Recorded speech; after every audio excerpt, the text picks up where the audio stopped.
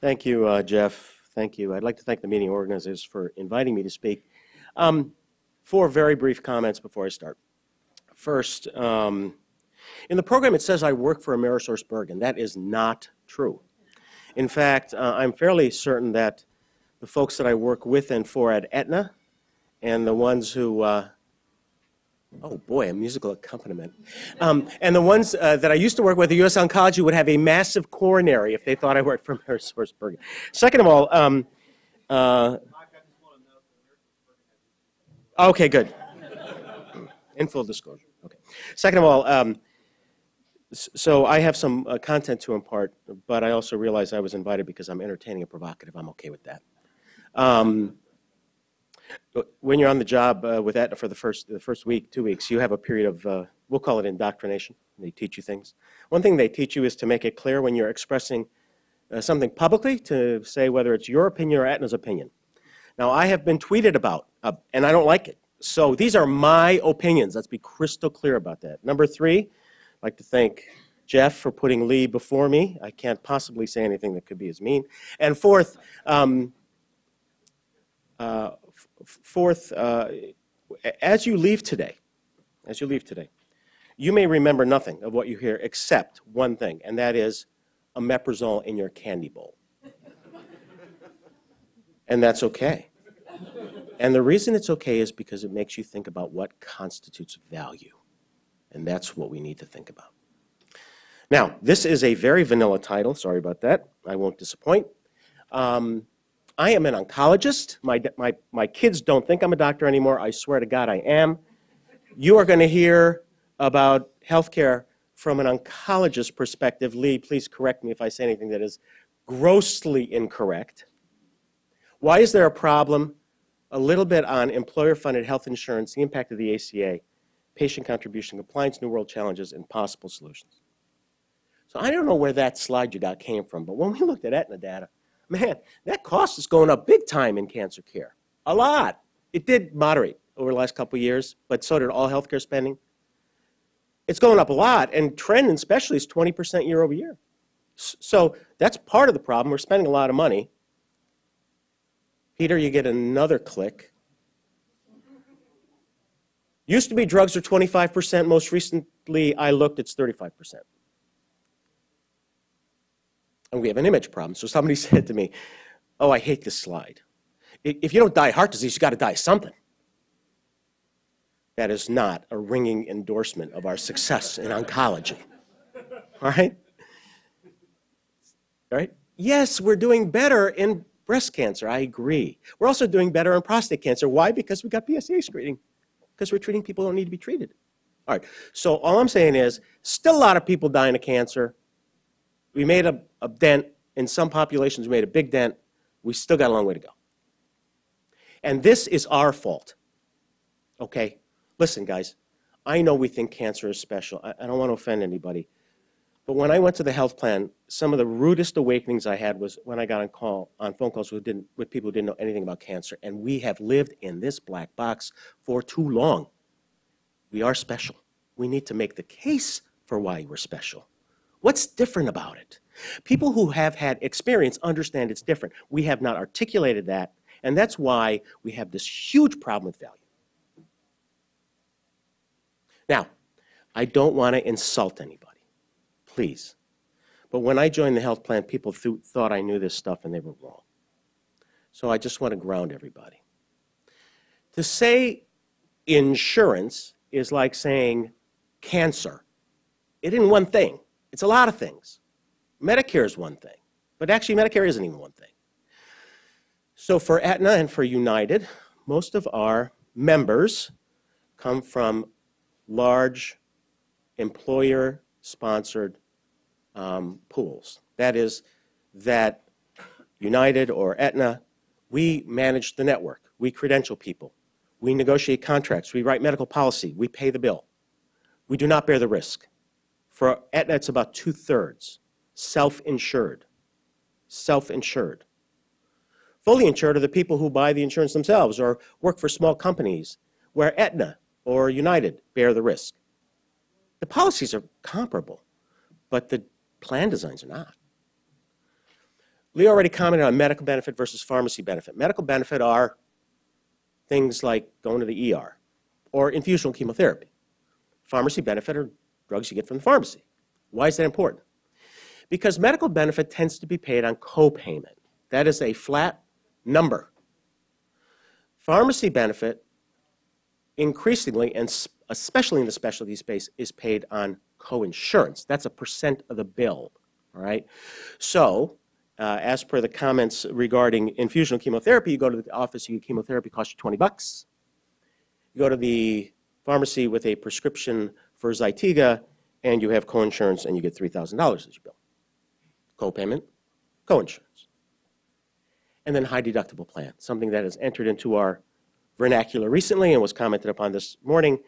You know, so you have insurance, you pay your premium every month, and you have to pay a certain amount out of pocket before the health plan or the self-employed sponsor starts to take some of that payment off your shoulder. High deductible plan just means that the deductible has started to rise, and that is now becoming more and more and more the case. I have high deductible plan in my insurance as an employee Aetna. And of course, uh, all of the exchange plans are high deductible plans. Now, high is a relative term, right? Let's be clear about that. I'm going to talk mostly about oral drugs because I'm not going to talk about the medical benefit. I want to talk about the pharmacy benefit. First, I want to say that at this point in time, for the non-elderly, non-disabled population, employer-sponsored health care is still the rule, has been the rule, and a lot of people think it will continue to be the rule. This is an excellent article that I refer you to from Health Affairs last fall. You should read it. it tells you how employer-sponsored healthcare started to be. And it does some analysis about why it's going to continue to be. The bigger the company, the more likely they are to be self-insured. And what they're seeing is this, premiums are growing. And they're shifting some of that over to the member.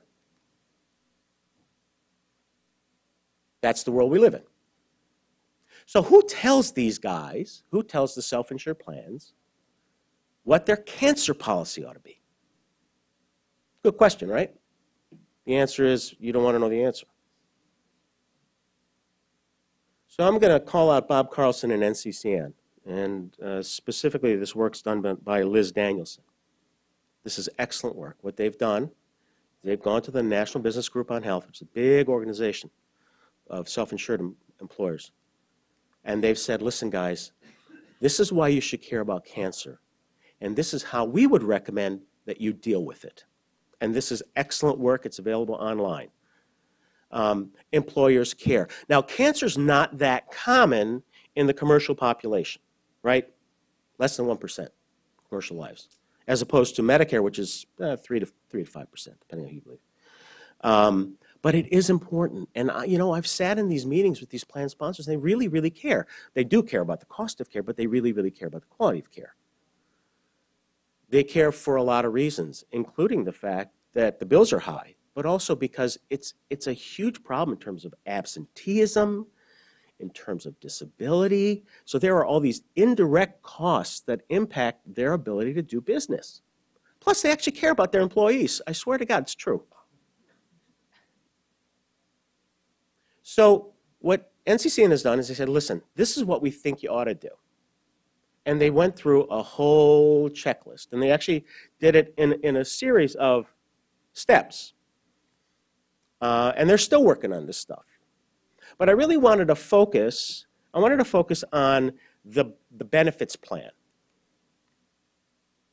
So they came out with a tool that the self-employer uh, employed purchaser of healthcare could use to look at their benefits. And I want to call your attention to this specific provision. Reasonable out-of-pocket thresholds should be established so that cost is not a barrier for patients to obtain their medicines. A max of $100 per script. Okay. I will tell you that NCCN has gone back with the National Business Group on Health and, and looked at the plans that were out there. And although I'm not at liberty to share with you the specific data, I will tell you that the minority of plans The minority of plans didn't do that. It's just true. So, you know, we hear these cases, the case of the fighter pilot dude with the big Xeloda expense, but they're anecdotes. We're talking about policy today. They're anecdotes. There should not be those anecdotes anymore, but they're anecdotes. And everything is different now.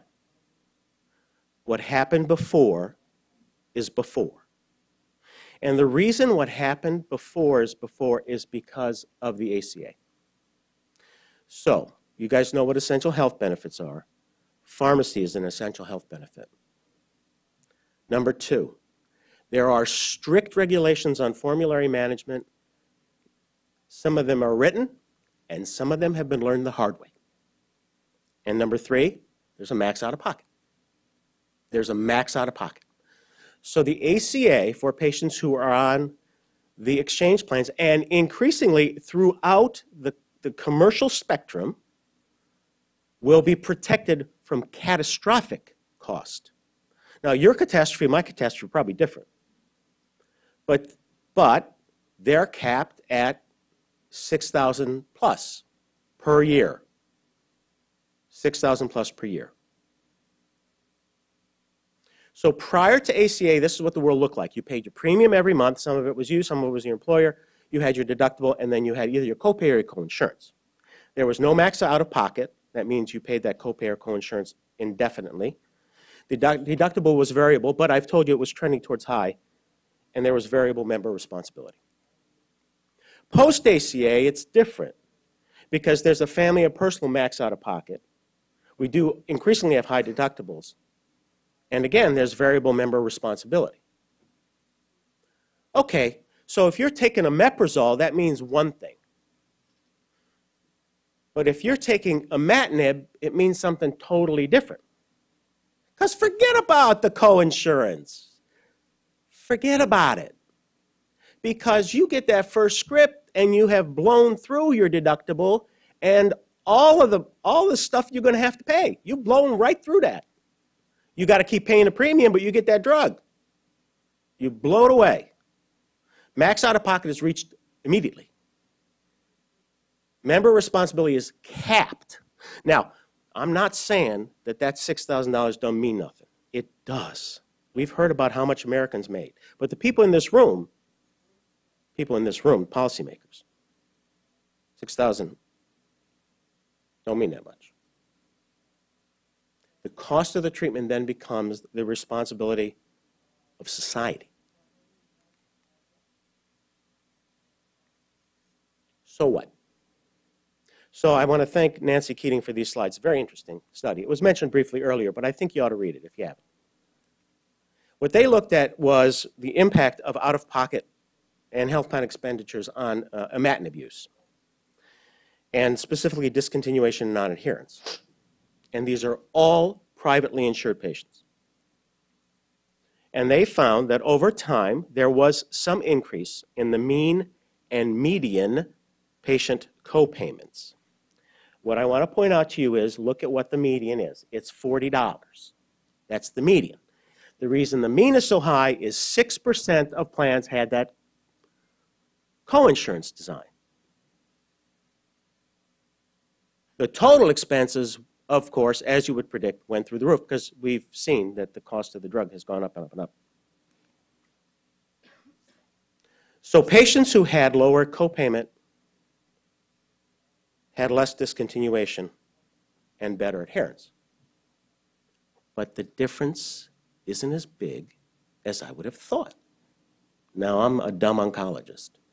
But there's this CML is an incredible drug. I mean, imatinib is an incredible drug, right? It is a drug, for those of us old enough to have treated CML prior to imatinib, it is a drug that revolutionized treatment of the disease. Talk about a curative therapy. It is unbelievable. So why in heaven's name is the adherence that high with a median copay of $40? So the conclusion that Nancy drew were that TKIs are costly Small out-of-pocket expenses have a large effect on discontinuation. If we increase cost sharing, maybe it'll go down. I'm not sure that's true, but that was her conclusion.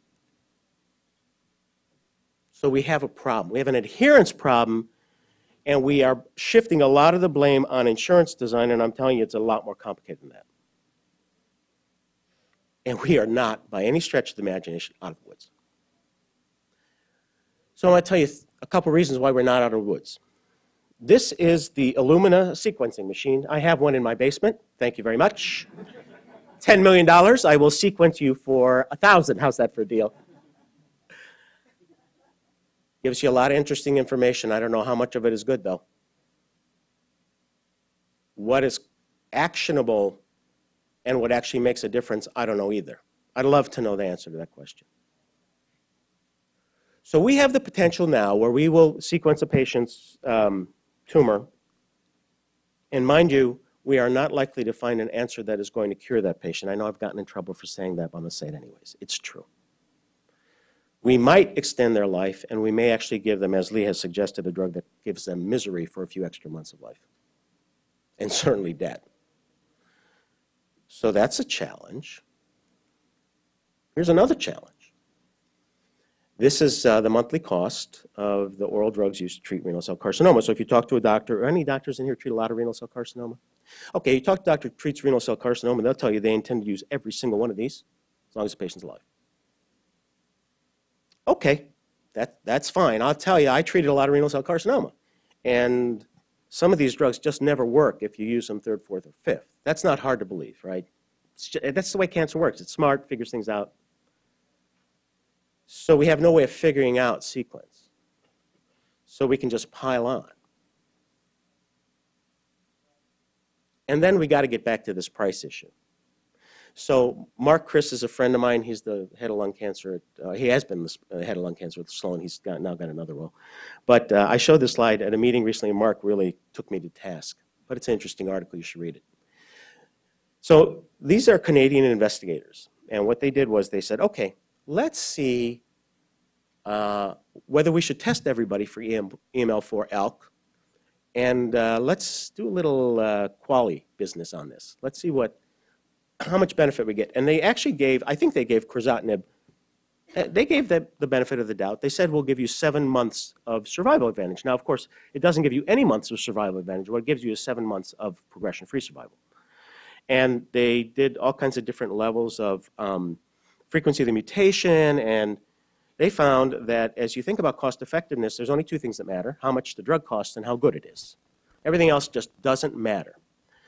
And this is a very interesting slide because uh, the nice lady from NICE is not out anymore, but their threshold for quality effectiveness is uh, 20,000 pounds, I believe.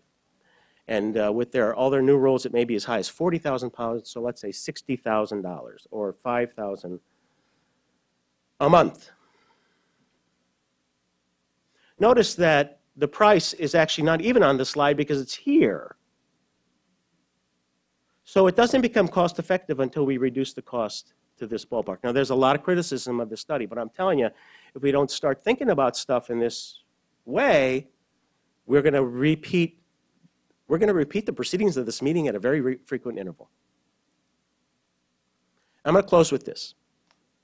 Um, Hagop Kantarjian from MD Anderson has uh, written and spoken uh, very eloquently on this. Um, the subject of the, the cost of the treatment of CML. And um, this is extracted from the article he wrote. Uh, CML is rare, but imatinib is amazing. We've got new drugs. They outperform imatinib in secondary endpoints, but not survival. Uh, and there are probably some patients who ought to get the newer drugs. When imatinib started, it was 30,000 a year. It is now 80,000 a year and the new drugs are upwards of 100,000 a year. So that's just the, that's the landscape. Imatinib will be generic. Don't get fooled by capecitabine. It takes about a year.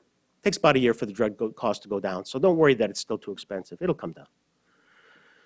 People think imatinib's cost will drop by 90%. That's a hypothesis. So this is the way CML therapy works today, post-ACA. Max out-of-pocket is reached in the first month. Deductible and coinsurance become irrelevant.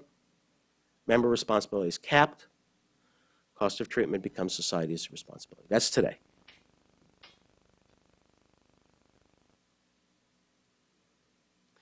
When imatinib goes generic, the cost of the drug will decrease. What if we took the drug off the specialty tier? What if we give the drug away for free? What if we gave it for a generic price? Deductible would not be met by the first fill, or maybe not even in the entire year. And there would be small or no member responsibility for the option.